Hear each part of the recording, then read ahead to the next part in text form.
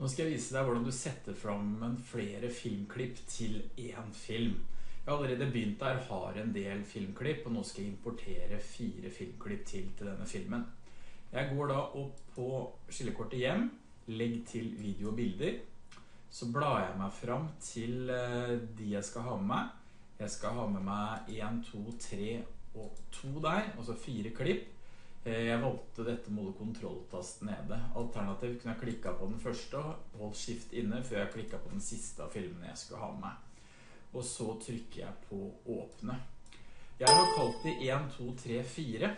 Som dere ser nå, så gjør øh, Står det ned til venstre at nå klargjør Moviemaker de for at de er klare til bearbeiding.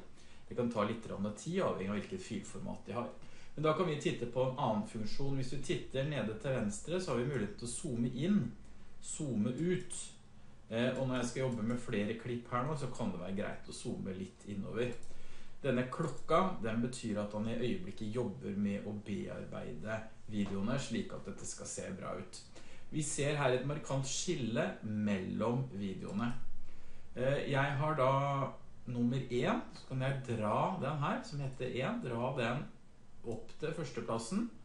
Og så skal jeg ha nummer to, og drar den da opp mellom. Så på denne måten flytter vi da rundt klippa rundt omkring i filmen slik de skal være. Jeg anbefaler deg at du på forhånd har tatt og klippet og redigert hvert enkelt klipp, så slipper du å stå her nå i en produksjon med mange filmer der du gjør forskjellige klipp. Altså gjør det på forhånd. Hvis jeg klikker på et klipp, så kan jeg gå opp her på bildetekst og skrive inn en tekst.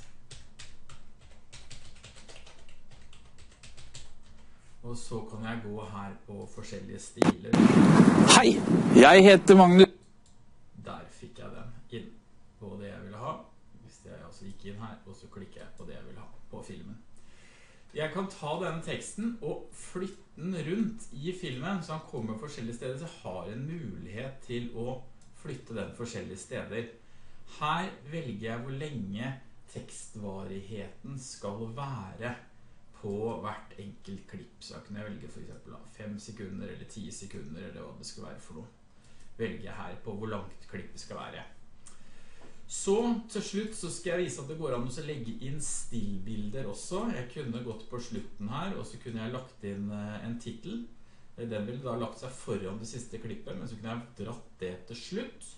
I stedet så velger jeg å legge inn et bilde jeg allerede har laget og lagt tekst på. Trykker åpne og velger sett inn. Hvis jeg klikker på bildet, så går opp og trykker på rediger, så ser jeg her varigheten av hvor lenge det bildet vil vises. Nå går jeg ned her, og så velger jeg 10 sekunder på det bildet, og da vil det ha 10 sekunders varighet. Jeg kan legge inn overganger mellom forskjellige klipp i Moviemaker.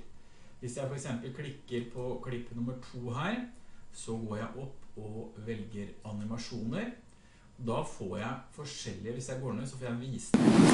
Velkommen! Så trykker på den. Velkommen! Velkommen! Og det finnes flere enn som så nedover her. Hvis jeg blar meg nedover, så finnes det mange forskjellige hjerter. Velkommen! Ja, den var fin, så den tar jeg. Trykker jeg på hjertet, velger den som overgang. Og Moviemaker altså alltid skjer det som blir lagt til foran det klippet som er valgt. Så nå ble det mellom klipp 1 og 2. Hvis jeg skal ha det mellom uh, klipp 3 og 2, som jeg gir inn her, og så må jeg bla meg ned, og så må jeg finne et annet type klipp. Her velger jeg den. Sånn. Så da drar jeg, eller trykker jeg på det. Sånn.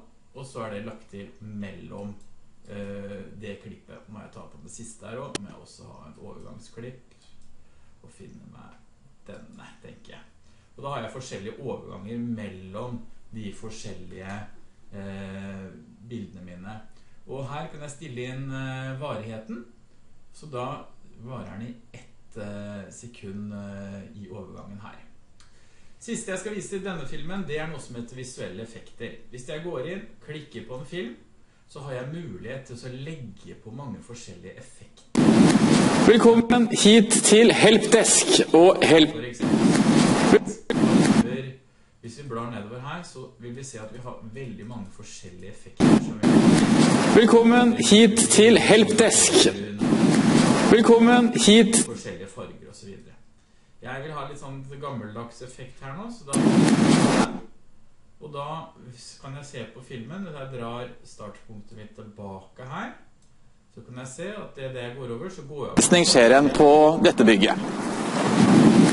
Velkommen hit til Helpdesk. Og da er vi over i en svart-hvitt del. Da har jeg vist deg noen av de mulighetene som du har når du setter sammen flere klipp til én film i Moviemaker.